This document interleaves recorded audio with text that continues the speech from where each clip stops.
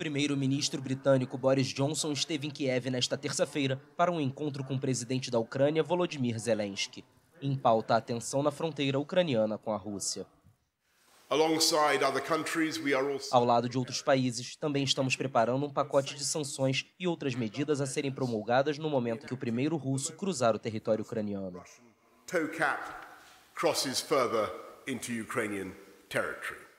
А буде, на жаль, трагедії, якщо почнеться потужна ескалація проти нашої. Haverá uma tragédia se a escalada começar.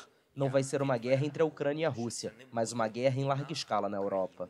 З Росією це буде війна в Європі повномасштабна, тому що ніхто не віддасть більше своїх територій і людей. Дякую. O premier britânico afirmou que é vital que Moscou dê um passo atrás e opte pelo caminho da diplomacia. Em Washington, o porta-voz do Departamento de Estado John Kirby disse que o presidente russo Vladimir Putin acumulou capacidade suficiente perto das fronteiras para permitir uma invasão iminente. A porta-voz da Casa Branca Jen Psaki rejeitou que o governo americano esteja ignorando as demandas russas, como acusa o Kremlin. Quando falamos de desescalada mútua, a Rússia tem 100 mil soldados na fronteira. Eles são o agressor. Estamos trabalhando com os países da OTAN para garantir que se sintam seguros neste momento. A OTAN é uma aliança defensiva. Não é a mesma coisa e acho que precisamos ter cuidado em compará-los como iguais.